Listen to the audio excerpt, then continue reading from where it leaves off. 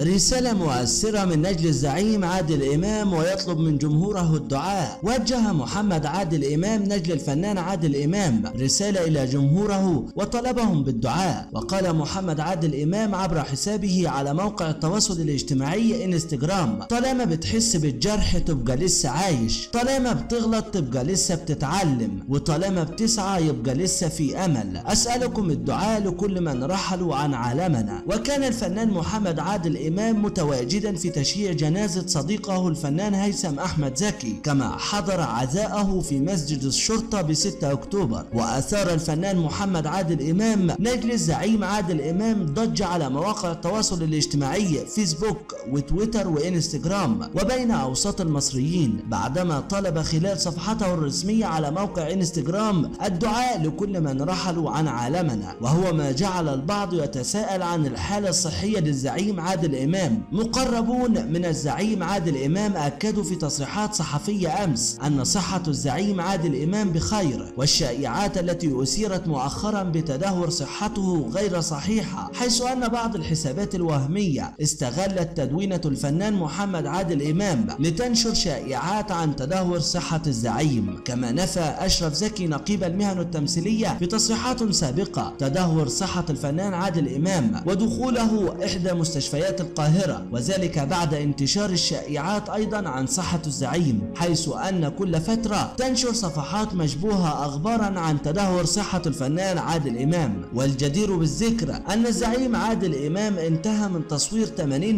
من مشاهد مسلسله الجديد فالنتينو والتي جمعت بينه وبين الفنانة دلال عبد العزيز وداليا البحيري. مسلسل فالنتينو يشارك في بطولته الفنانة دلال عبد العزيز وداليا البحيري. ووفاء صادق وهدى المفتي ومحمد كيلاني والفنانة ياسمين والفنانة رانيا محمود ياسين وإلهام عبد البديع وسليمان عيد وبدرية طلبة وأحمد فريد وعدد آخر من الفنانين. ويؤدي الفنان محمد عادل إمام فيلما جديدا يحمل اسم لص بغداد بالتعاون مع كل من فتحي عبد الوهاب وياسمين وأمينة خليل ومحمد عبد الرحمن وصلاح عبد الله وأحمد رزق. والفيلم من تأليف تامر إبراهيم ومن إخراج أحمد خالد موسى. أحداث العمل تدور في إطار الأكشن تتخلله بعض المواقف الكوميدية والذي يندرج تحت فئة المغامرة والتشويق والإثارة. وبالتحديد حول رجل يبحث عن كنز مفقود وأسرى في بغداد وغيرها من الأحداث.